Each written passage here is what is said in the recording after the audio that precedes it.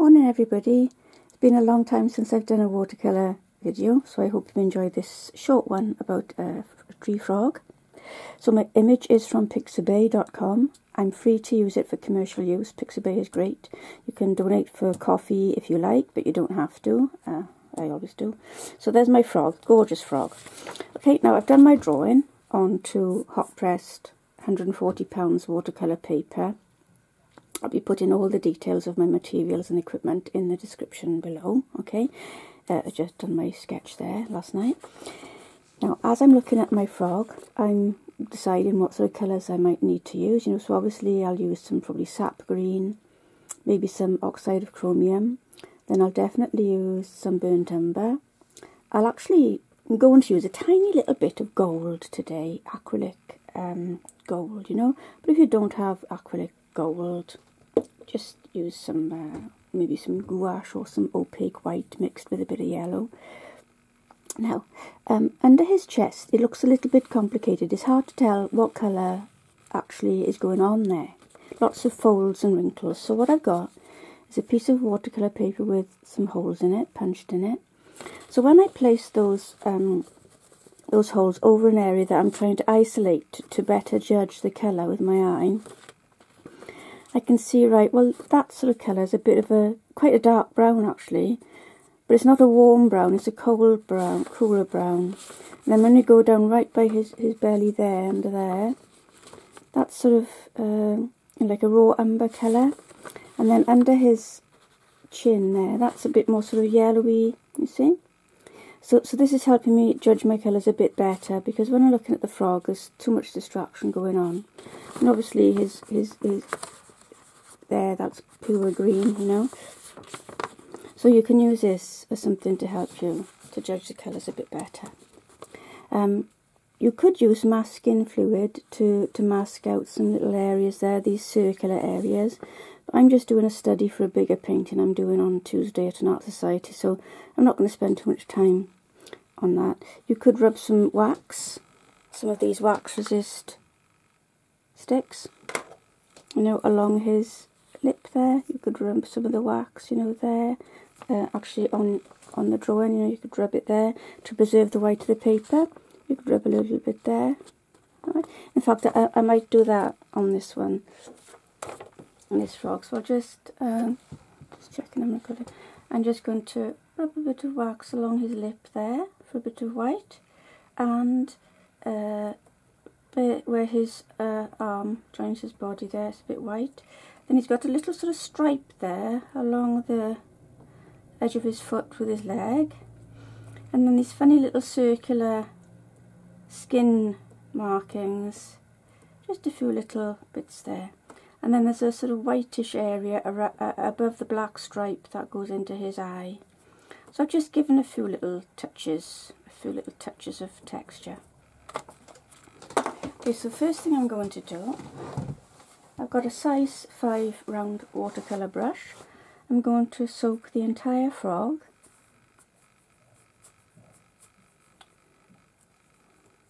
that brush is a bit dirty. Right, soak the entire frog with water.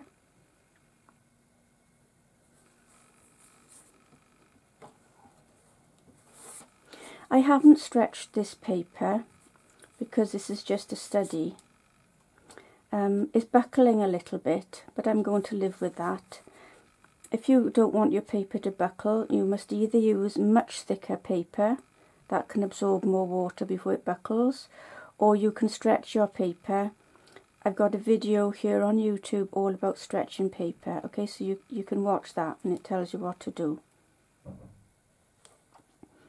So I'm wetting only the inside of the frog.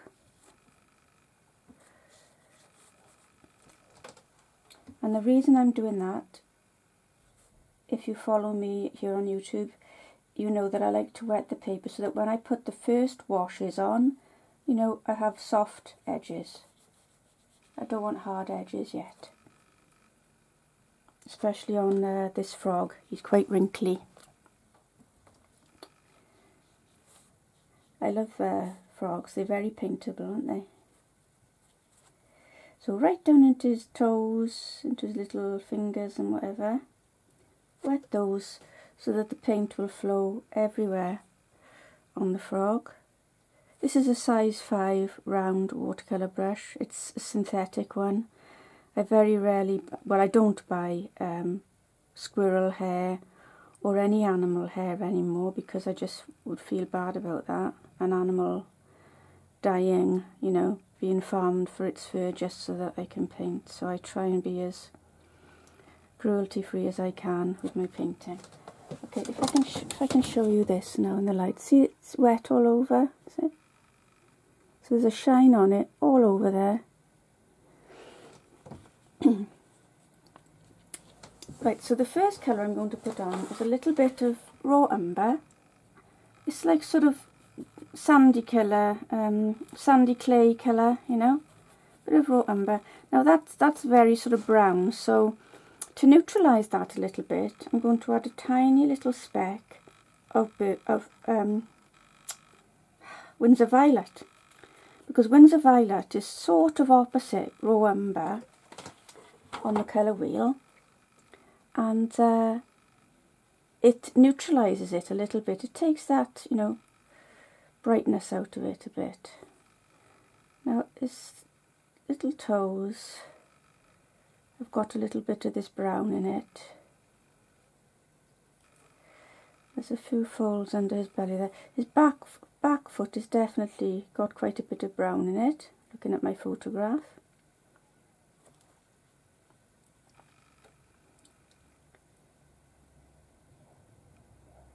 His toes have dried out a lot already actually. Right, so under there, brown. As you can see, the paint isn't flowing wildly. It's it's it's given me a soft edge when I make the marks, but it's not flowing terribly out of control a few folds in there. I'm leaving a little bit sort of unpainted uh, because he's a bit paler there, as you can see on the photograph. But it's mostly dark there, and that toe out on its own is a bit of this brown colour as well. So there's a bit of sort of muted brown going on there. Now for the green, I'm going to use a bit of uh, sap green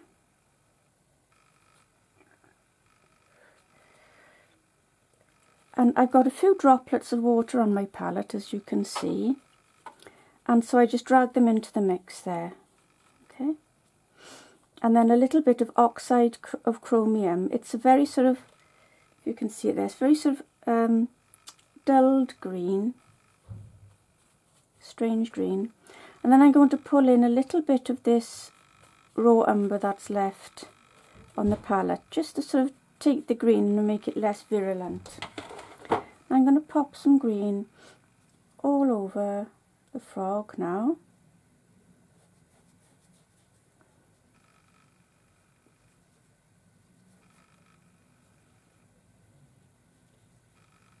Get some green colour on him and then we can manipulate it a bit more. Right, just green, a little bit of green under there. There's a bit of green on that leg there and let that bleed into the brown don't worry about it bleeding in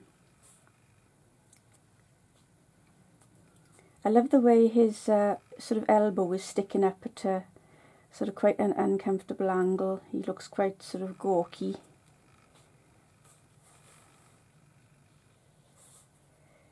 and of course the paint will only uh, flow where you've wet the inside of the frog so you know it won't flow anywhere outside of the frog shape so you haven't got to worry about that. Right, so I've got some green all over the frog now. Um, but as I'm looking at the frog, you know, it's a bit, uh, the, the, green has got a, is a bit darker here than say on his mouth, isn't it? See, it's darker, that's paler. And there's, uh, there's creases, you know, where his uh, legs and arms are folding. So I'm going to pop, and there's, it's a little bit darker there between the two bulges of his eyes, they're a bit darker there. So I'm going to go for a smaller brush. So maybe a size 3 brush, a size 3 round brush. I'm going to wet it, take off the excess water, and then I'm going to mix a stronger, more viscous. You see, see how much more uh, oily, you know, that is. So that's the green, sap green, and now oxide of chromium again. And I'm going to add to this a speck, a little tiny speck of Winsor Violet, you see. So that's dulled that, it's duller and stronger and less runny than the wash I put on earlier.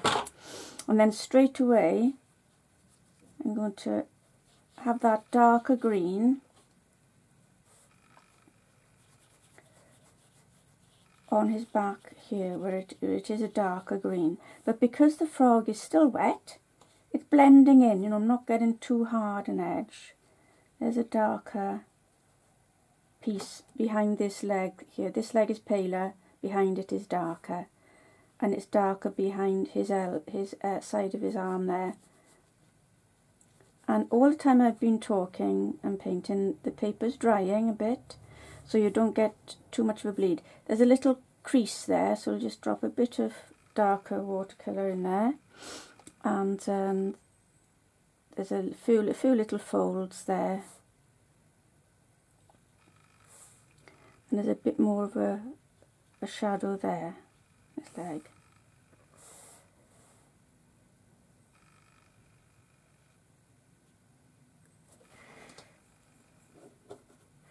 There's a bit of a bit of um, water puddling there where the, where the paper's buckled and there's a dip. So with the brush that I've wiped clean, I'm going to suck up that excess puddle, rinse my brush, dry it again, suck up the puddle so it sits a bit better.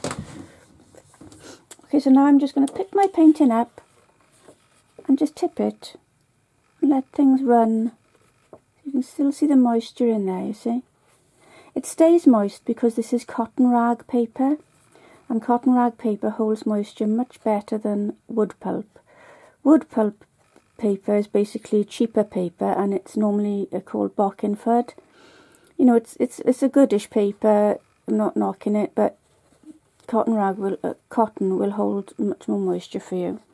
So I've got a soft look there on the frog. Okay. So at this point now, before I stop and dry him, I just feel like I want to few little streaks of yellow here and there just to warm him up and give him a bit of zing.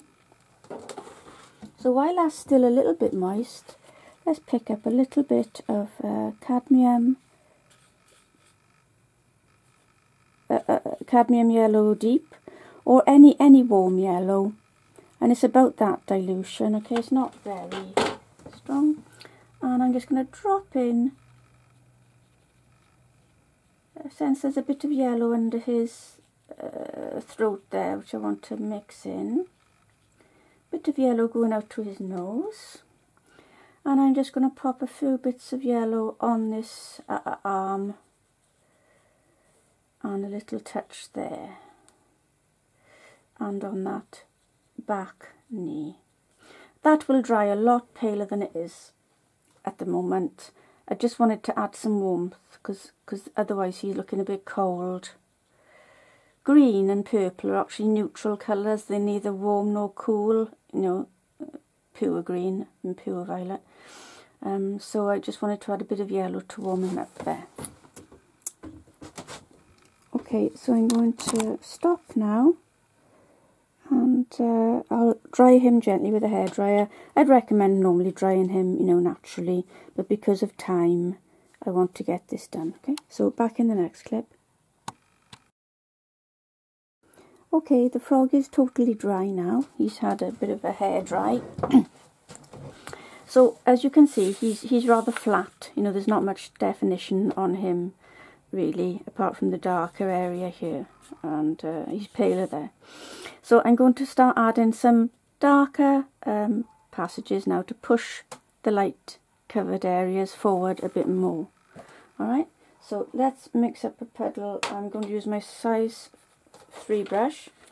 I'm going to mix up a darker puddle of the green again. So sap green, some oxide of chromium, um, maybe a little bit of French ultramarine blue, yeah. That's taking it down a bit. Just taking that green down. And then a little bit of Winsor Violet a little tiny bit because it's very strong.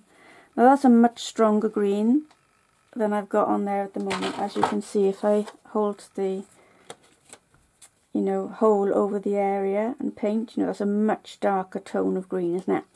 So that's going to make some strong contrasts.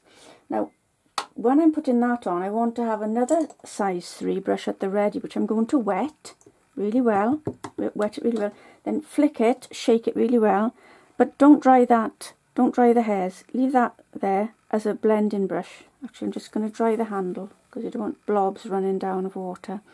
So there's my moisten brush at the ready. So for example, let's let's put a nice little shadow down in here, you know, a bit of artistic license. This might not be catching so much light, and it'll also help define the arm of the frog. So I'm going to put a dark passage of green down in there.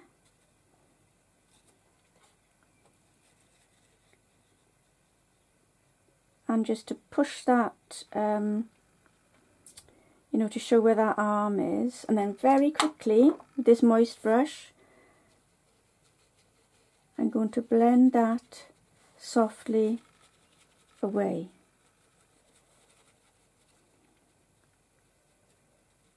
Okay, so it's just blended it away into the green of the skin from the first wash.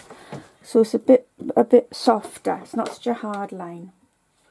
Then we can pop a little that green crease in there. Creases there, and there's a little sort of crease there. Right. Then we'll have um, a darker area here as well. Start defining the uh, around the eye. Now that line, rinse your brush again, flick it, and you've got a nice moist brush, and then touch into the extreme extreme edge of it and gently rotate, see you rotating your brush, just scampering, scampering along that outer edge very gently and just blending that away, you see? So you've got a more of a defined area there. So in, in there we'll have a little bit of a crease in that back leg, rinse my brush, take all the green out, flick my brush and again start right on that you know, the last millimetre of that passage of green you've just put on and just soften it away, rinse your brush it all the time. I'm also going to just soften the edge of those lines, those green lines, just to sort of make them less hard, okay? Just soften over them like that. Now in his back I'm sensing there's a few sort of dents and dips so I'm painting this area and then tapering it off like that. And again I'm going to rinse my brush. I mean really I should work this way so I've got to turn it upside down so it's easier for me to soften it. So I'm working sort of left to right so I'm just going to soften that passage that I just put on. You've got to soften immediately because it, it, it dries very fast. See, so soften that away. So we've got a bit of um, form coming on his back now. Right. So under his belly now, um, no, I tell you what, we'll just put the brown mark in now. So into that, we'll have a stronger mix again, more sap green, more oxide of chromium, a little bit of water, and now burnt umber, and a bit of French ultramarine blue and this is going to be this strong dark colour that starts at the nostril there.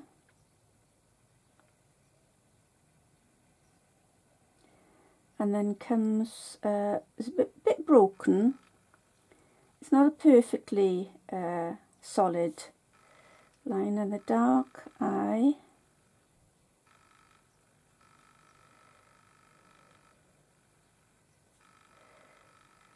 goes down under the eye there. I'm breaking it so I'm not making it too solid. And there's that dark patch there and it tapers up a bit into the eye. Reload my brush. There's this darker area again and it goes into a sort of curve thing there. I must find out what that part of the anatomy of the frog is. It's a strange curve. The black is a bit uh, rugged, a little bit of a rugged line as it's going along here. Loading my brush up and then it carries on. It's a little bit ragged and it's got a, the pale uh, pale either side, you know, that's a, almost like a cream strip, very pale. I'm trying to leave a little bit of that paleness showing for contrast. Above and below this dark green, greeny brown stripe, okay?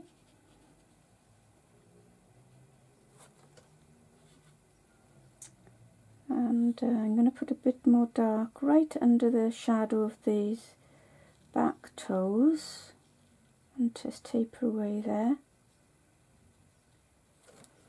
And then immediately I'm going to rinse my size 3 brush again and just touch into that line I did here and there just to make it a bit lost and found. So it's not a hard drawn paint line all over but it gives us some definition.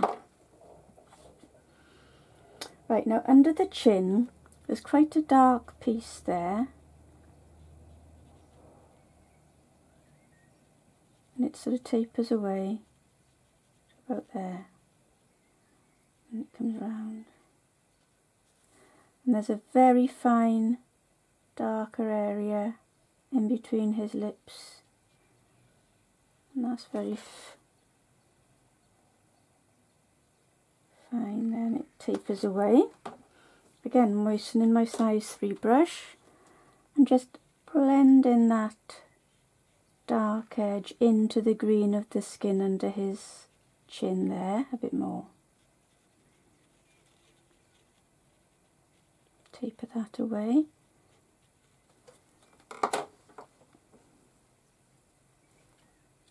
Right, I'm going to do some dark raw umber areas under his belly now. So into that mix that we've, we've got still, a little bit of that greeny mix, I'm going to add some more raw umber, just mixing slightly to the side of it so that I can just drag a bit of the green in if I want, you know. So it's a greeny brown mix. Dilute. And it's darker there. And this barely goes quite dark right down there where the light, where not much light would get it. And then there's um, a dark area there which actually joins this area. There's a few sort of folds there as well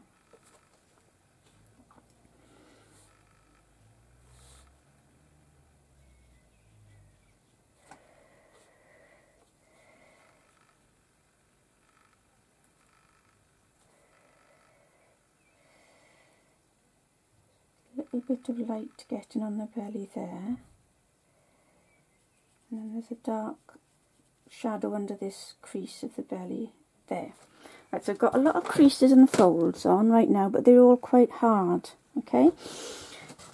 So with um, my size 3 brush, I've wet it and I've flicked it. So I've got a tiny, tiny bit of moisture in there. So I'm just going to touch in at the edge of those raw umberish green pastures and, and, and fade them off, you see? So that becomes a bit softer. Rinse again, flick your brush. Now this is quite a big puddle of green, so when I touch into it, it's probably going to flare into this area quite strongly, so I'm just going carefully with that. Rinse my brush. Now there's a hard pale area in amongst the dark green wet area and one there. So I'm very carefully going to just soften it without losing it. You know, I don't want to lose the paler bit in the middle. So very gently. And this is very hard white area here. So I'm softening it up that way. Just going in there with this very slightly moist brush and just softening it away. But I haven't lost that shape too much. There's still a paler area against this darker area, okay? Right, she's got a little bit more definition on him now. I'm going to do a bit of uh, work on the feet now. The shadows will all be on these right hand uh, parts of the, the toes. So I'm just starting uh, and doing that now. A bit of shadow work with this browny green mix. Put it on this side here.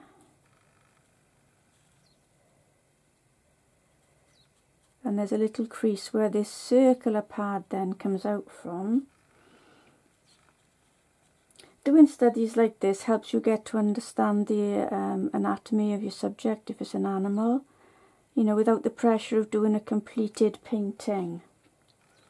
So I'm just learning about, you know, shapes, and it's an education, isn't it? You know, whatever you pay attention to, you get to know it much better. Right, I'm going to put a bit of that colour up into the eye there and leave a few little gaps. Put a few specks and brush that round. See this hard green that I put in, I'm just going to work away at that, like with the tip of this brush, just work it away so it's a bit um, faint, more faint, so that it doesn't end in a strong dark green right by the eye. I just want this dark green to blend in a bit more around his wise, lovely eye. And then there's a little bit of a shadow under there. And taper that away.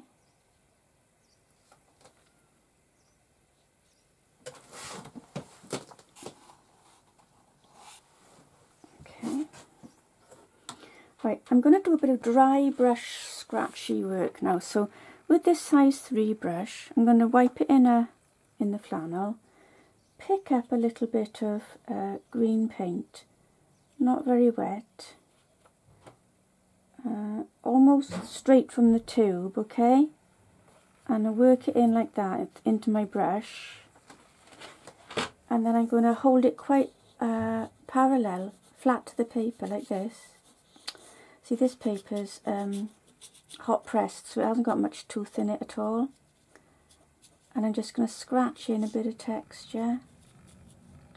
You have to very lightly. If you're using rough paper or hot um, or cold pressed paper you'll get better result than I'm getting. But I just wanted to put a bit of texture with this scruff, sc sc scratchy dry brush over the frog just sort of diagonally like that, okay? I'm keeping my brush, I'm holding it by the ferrule and holding it really flat. Okay, so he's come in now a little bit.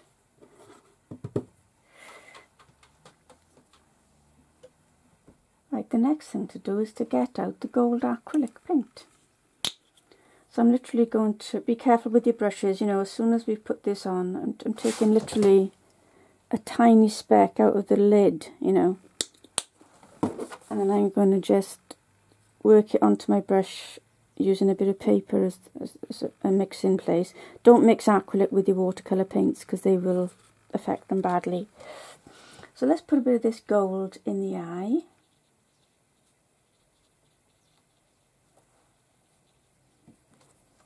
I have to rinse my brush again. Um, when we finish doing this frog, rinse your water pot, wipe it out with the tissue because the acrylic will particles will cling to the inside of your pot, you know, and can have, you know, an effect on your watercolour. So just get rid of all traces of acrylic. It's a bit of a toxic substance, really.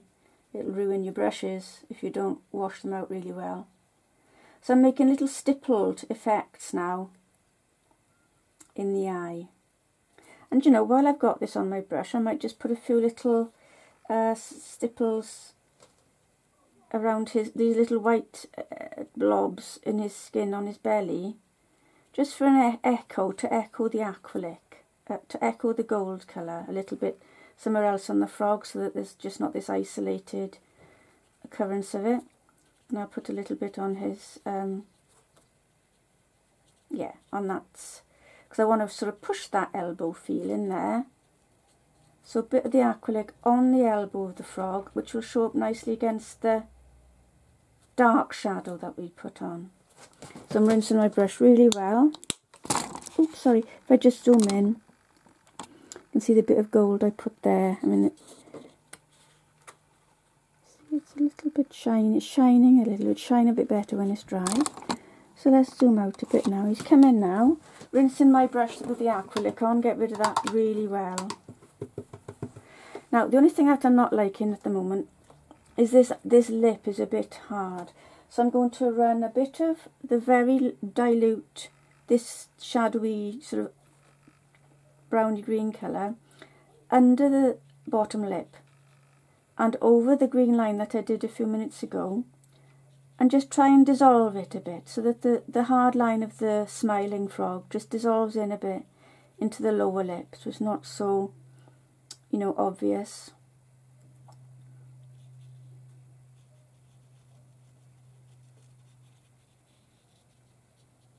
just take it up over the nose a little bit just lose that hard line.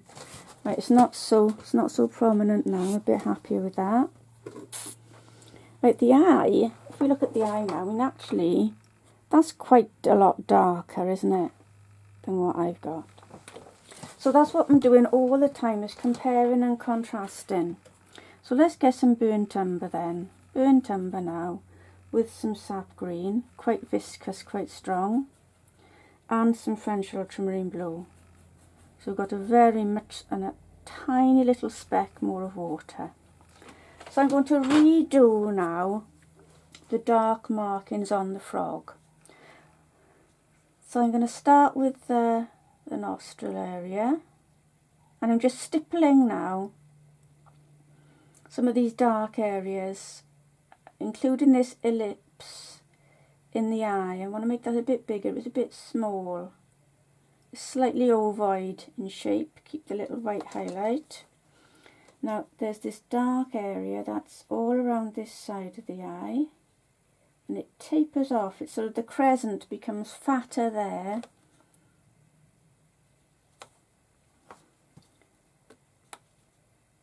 And it's darker here as well. Going over I'm going over this dark area again with this newer slightly darker mix. Just making it a bit of a again a patchy application. It's not perfect. Now there's a I want to push that shoulder there so I'm just going to make a little um, dark accent there then push the shadow right under that mouth and it tapers away to nothing and tapers away in there. Then into this slightly moist area, a little bit of a line that tapers away to invisibility. Then let's have a fold uh, in the skin and I'm making it very thin at the extremes and fatter in the middle And there's a bit of a shadow behind the eye there. So just push that in. And there's a much darker area in the toes in this foot. So I'm really pushing them. And that lovely crease in his elbow, I'll redo that and make it a broken line again. And I redarken this shadow. I'm going to have a few little wiggly lines. These are the final little details now. Know, these come at the end always in a painting. Don't don't ever bother putting these in in the early stages because you'll just be painting over them so you'll, you'll lose everything. These are called the tiny little, you know, accents that are right at the end of your work. There's a bit of a shadow, a strong sunlit shadow there. A few wrinkles there.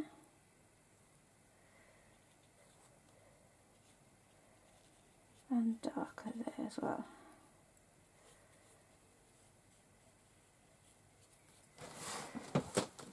Right, so I feel he's a bit better now. Apart from, let's have a little bit more burnt umber into that green, dark green mix again because the eye is just way too light.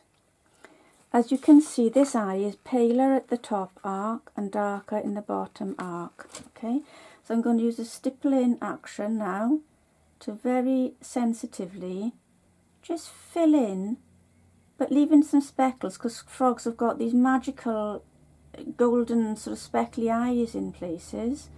So I'm leaving some of the gold showing through. So I'm using the tip of my brush. And just speckling in. And he's got a few speckles in the top one but not as many. I want to keep the top arc much paler than the bottom one. So that it comes sorry that's too far away. So that it comes to life and there's definitely a fold and a bulge there and that tapers in.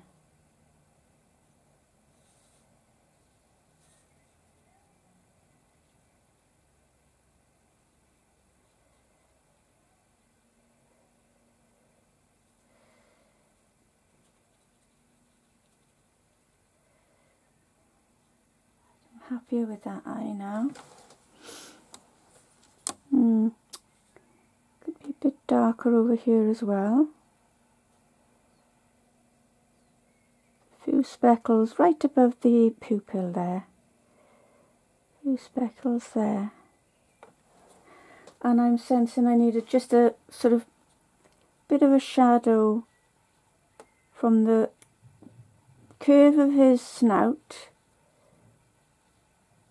there behind this eye to give his head a bit of flatness um, before the bulge of his eye on the other side. So I'm just darkening that off.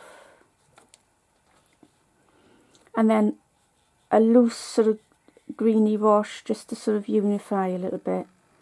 And see this dark area here?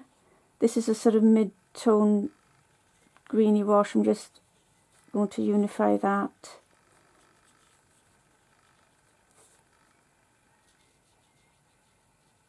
And darken his nose a little bit.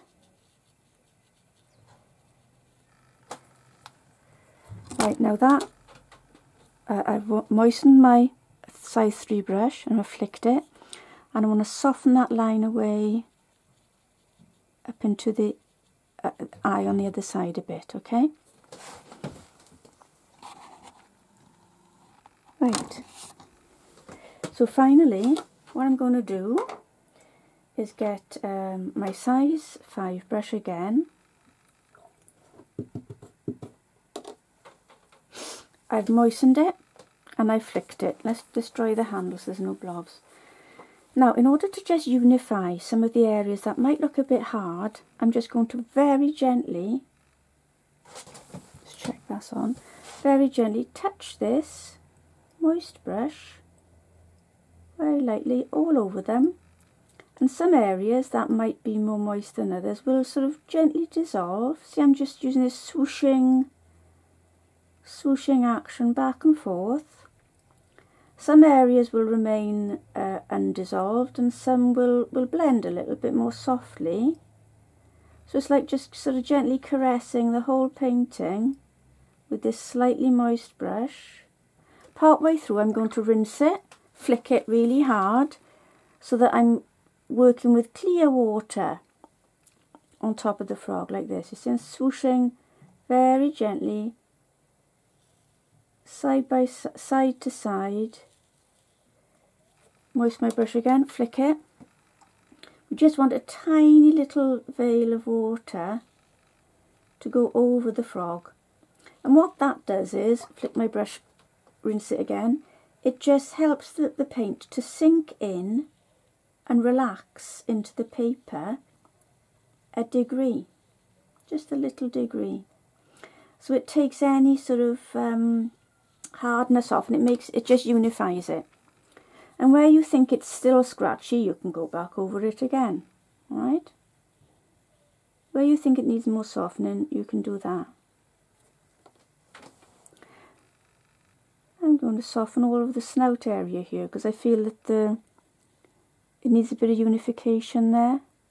Very carefully around that eye. Don't want to lose too much of that. You see, it's just, and I'm definitely want to keep that white, that little pop of white there is quite nice, isn't it? So on his back, let's swoosh back and forth with slight, with the slight, thin, thin veil of water. Right, I'm happier now. So if I, if I lift him up and you get some more daylight, uh, if I can zoom around, zoom out a bit. Right, so there he is in, in, in daylight now. We can see it a bit better. Okay. Right, so I'm going to leave him there. And there's a frog study. Okay, so if you've got any questions, please ask. Before I forget, I've just got my new magazine out. Well, the second issue of my magazine is an art magazine, and uh, it's called The Pottering Artist. The first one came out in February, and the second one came out today. And this one's called uh, Gaze, and the first one was called Delight. And if I just flick through them, basically it's all about my creative journey um, and fill in my creative well. And there are tips, tutorials, commentaries, and step by steps on different uh, techniques in watercolour, pen and ink, some uh, gouache and uh, pastel. There's a there's a, a step by step of painting bottles there so you can pick up techniques. And I just wanted to um, this colour mixing I wanted to encourage people to just colour mix in their yellows just to go slowly in their creative process. This is issue two. So this is um, got some gouache it's got some drawing it's got some tonal work it's got some pastel work it's got some book reviews it's got blind contour drawing to help you get onto the creative right hand side of your brain everything in here is to do with me. Uh, I've either painted it or I've been there, so it's it's very personal. And so it's my own uh, experience of painting and drawing, and and there's some giveaways in there as well. And then there's watercolor weaving. Okay, there's people showing their studios from around the world, readers from around the world. Then there's a waggle dance, which is a step by step of some small floral uh, watercolors okay? And then that's what's in the next issue. So if you want to buy this um, that'll be in the link you know in the text if you read the text under this um, video. But if you google the pottering artist you'll be sent to either my blog or blurb that's the website that sells the pottering artist alright so I hope you've enjoyed uh, doing the frog there he is now so um, I, I think he's finished Okay, thanks for watching. Bye.